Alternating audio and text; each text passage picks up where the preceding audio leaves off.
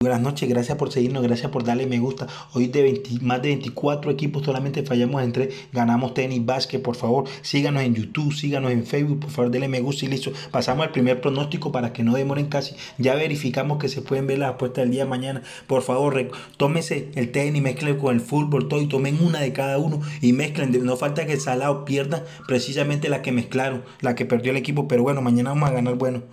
Comenzamos con tenis, 5 de la mañana comienzan los partidos. Mariano, buen partido, Mariano hoy ganó. Seguimos, seguimos con el segundo ticker para que vayamos rápido directamente.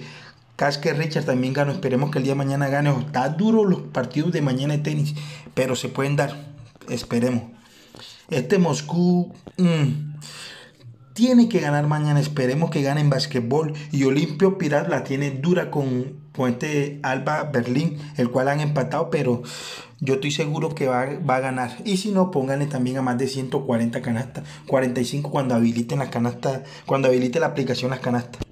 Seguimos con basquetbol también, Hamburgo. Sé que Hamburgo puede ganar, pero yo le coloqué más de 141, 145, 147 o 148 canastas. Pasan más de 145 canastas.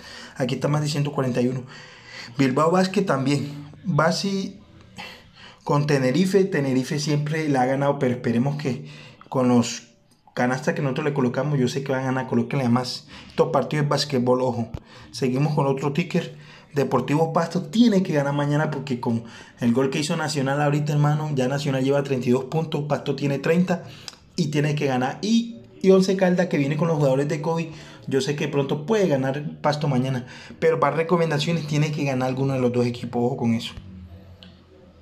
Tenemos Georgia, Macedonia, esto es un partido que siempre tratan de hacer poquitos goles. Yo le puse 1.5. Pueden que pasen los dos goles, ojalá, porque siempre hacen 1-1, 2-1. Listo, seguimos el otro ticker. Tenemos Hungría. Hungría yo sé que puede ganar. Hungría viene siempre a ganarle a este equipo. A Islandia. También yo la oportunidad de colocar 1.5. Se la di. Ahí sirve para abonar. Tenemos a Camerún, que Camerún 13 a sorpresa. Esperemos que esta vez marque y gane.